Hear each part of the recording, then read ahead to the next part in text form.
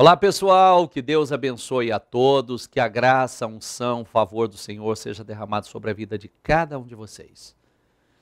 Meus sinceros cumprimentos, espero que estejam todos bem, fortalecidos, alimentados espiritualmente, revestidos, que nós estamos aí numa maratona de orações e de cultos, né? O tempo todo, o tempo todo. Não perca a oportunidade, até porque como disse recentemente em uma das nossas transmissões. Tudo isso vai passar. A pandemia vai passar. Mas não adianta a pandemia passar e os meus problemas não.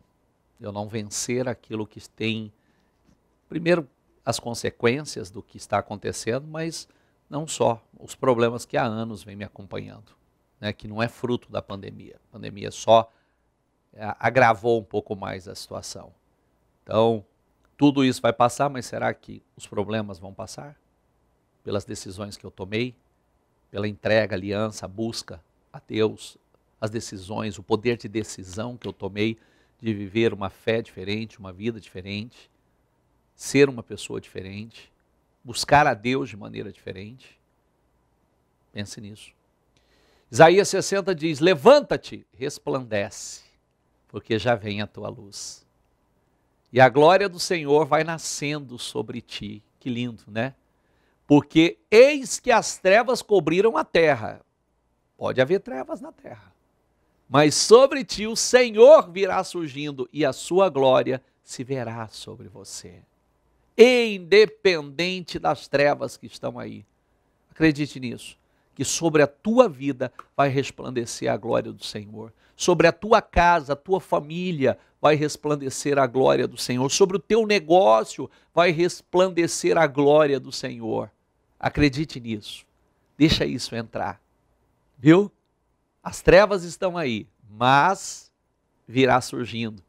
A glória se verá sobre ti. É isso que vai acontecer.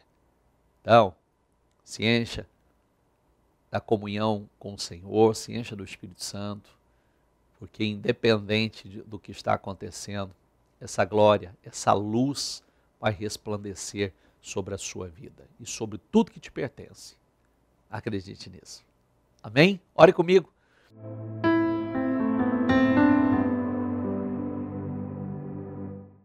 Ó meu santo e poderoso Deus, Senhor, ah, como nós cremos na tua palavra. Independente das trevas que cobrem a terra, o Senhor tem promessas para nós. Se as tuas mãos estendidas estão, quem pode fazê-las retroceder, recuar? Se o Senhor nos abençoar, quem pode impedir a tua bênção sobre nós? Se a tua luz resplandece sobre nós, a luz dissipa as trevas, não haverá trevas em nossas vidas. É isso que cremos, Senhor. Nós cremos na tua palavra. Nós cremos no teu poder. Que essa mensagem fortaleça o espírito e os corações. O espírito de cada pessoa que ora comigo. Entre em cada lar. Entre em cada coração. Entre, Senhor. E que essa luz resplandeça poderosamente sobre a vida de cada um. Independente se as trevas estão cobrindo a terra mas que a tua luz resplandeça sobre nós. É o que eu determino, é o que eu profetizo, e crendo desde já, nós lhe agradecemos. Amém, amém, amém. Graças a Deus. Eu creio, recebo e tomo posse. Que Deus te abençoe demais. Tenha um dia extraordinário e a bênção do Senhor seja derramada sobre a tua vida. Forte abraço.